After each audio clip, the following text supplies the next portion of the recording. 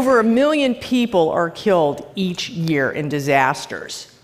Two and a half million people will be permanently disabled or displaced. And the communities will take 20 to 30 years to recover in billions of economic losses. If you can reduce the initial response by one day, you can reduce the overall recovery by a thousand days or three years. See how that works? If the initial responders can get in, save lives, mitigate whatever flooding danger there is, that means the other groups can get in to restore the water, the roads, the electricity, which means then the construction people, the insurance agents, all of them can get in to rebuild the houses, which then means you can restore the economy and maybe even make it better and more resilient to the next disaster.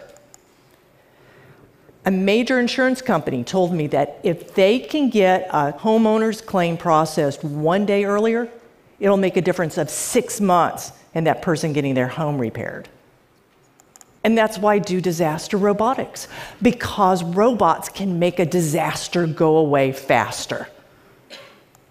Now, you've already seen a couple of these. These are the UAVs. These are two types of, of UAVs a rotorcraft or hummingbird, a fixed wing, a hawk and they're used extensively since 2005, Hurricane Katrina.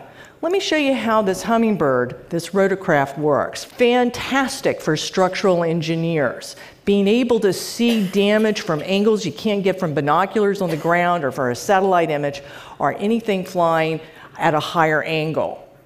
But it's not just structural engineers and insurance people who need this. You've got things like this fixed wing, this hawk. Now, this hawk can be used for geospatial surveys. That's where you're pulling together imagery together and getting 3D reconstruction.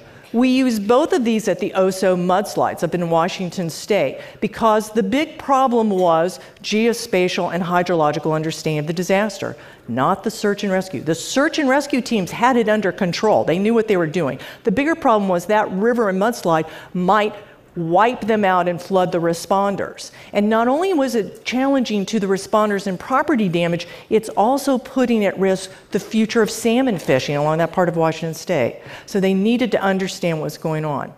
In seven hours, from going from Arlington, driving from the incident command post to the site, flying the UAVs, processing the data, driving back to Arlington command post, seven hours.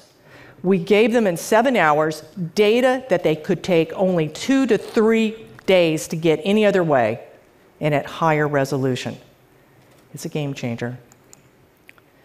And don't just think about the UAVs. I mean, they are sexy, but remember, 80% of the world's population lives by water, and that means our critical infrastructure is underwater, the parts that we can't get to, like the bridges and things like that.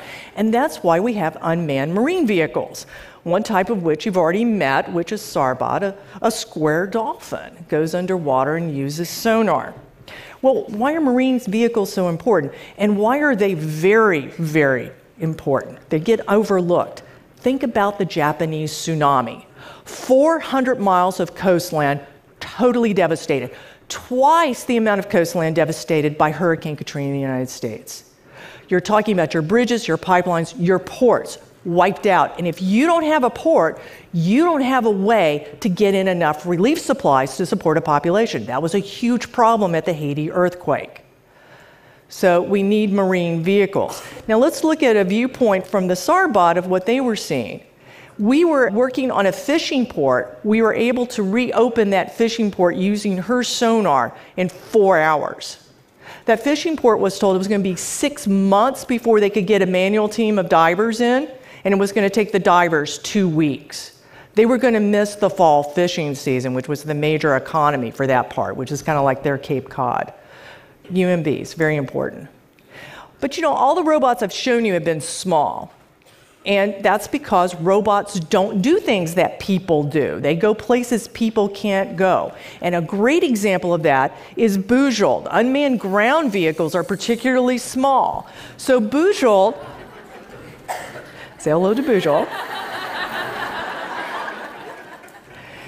Bujold was used extensively at the World Trade Center to go through towers one, two, and three. You're climbing into the rubble, rappelling down, going deep in spaces.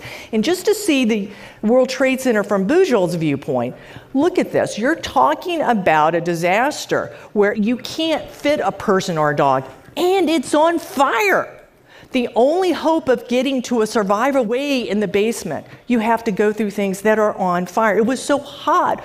One of the robots, the tracks began to melt and come off. Robots don't replace people or dogs, or hummingbirds, or hawks, or dolphins.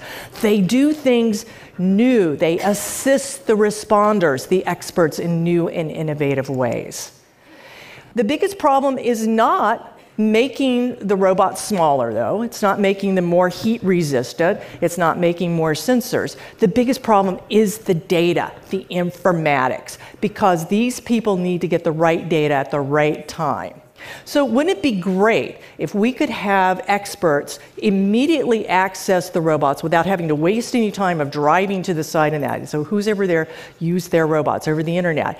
Well, let's think about that. Let's think about a chemical train derailment in a rural county. What are the odds that the experts, your chemical engineer, your railroad transportation engineers, have been trained on on whatever UAV that particular county happens to have? Probably like none. So we're using these kinds of interfaces to allow people to use the robots without knowing what robot they're using, or even if they're using a robot or not. What the robots give you, what they give the experts, is data. The problem becomes who gets what data when. One thing to do is to ship all the information to everybody and let them sort it out. Well, the problem with that is it overwhelms the networks, and worse yet, it overwhelms the cognitive abilities of each of the people trying to get that one nugget of information they need to make the decision that's going to make the difference. So we need to think about those kinds of challenges. So it's the data. At the World Trade Center, going back to the World Trade Center, we tried to solve that problem by just recording the data from Bujold only when she was deep in the rubble, because that's what the USAR team said they wanted.